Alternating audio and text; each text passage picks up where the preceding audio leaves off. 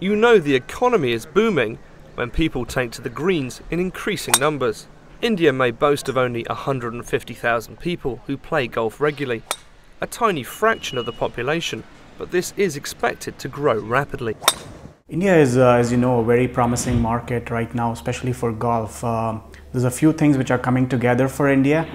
If you look at the economic development in the last few years, which has resulted in higher income levels, and more and more people are looking for a game like golf to be part of their lifestyle. Golf is still an expensive sport here, with the most basic golf set costing three months' salary for an average Indian.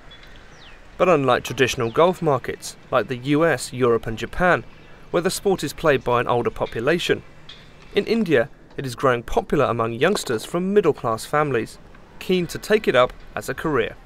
Many junior players are regularly competing in tournaments, in India and abroad.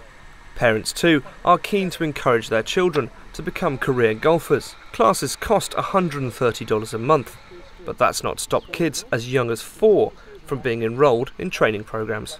I come from school and and and uh, come here to play golf. Why?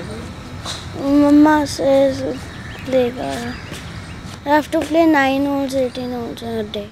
But building more golf courses is essential to increase the accessibility of the sport. There are only about 200 courses across India, and these are limited to the elite few who can afford expensive private clubs.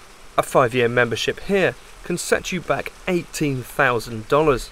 Public courses do exist, where enthusiasts can play for just $6 a day, but these are very few in number. If you look at Delhi Golf Club or some of the other popular clubs, there's waiting lists of about 35 years. So that's not a happy situation at all for a brand like us.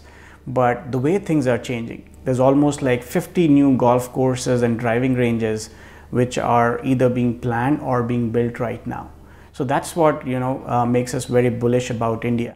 Golf is also getting a boost from real estate developers who are building luxury residences alongside golf courses. Here at the DLF Golf and Country Club outside Delhi, the prices of apartments start at $1 million. Golf courses in isolation don't make money worldwide. It's always the real estate around it that actually, you know, uh, justifies for that kind of a land to be used. Big business is also getting involved in organising tournaments, with the total prize money on offer going up by over 250% in the last three years. The most anticipated one is the $2 million Avantha Masters, which is a European tour event.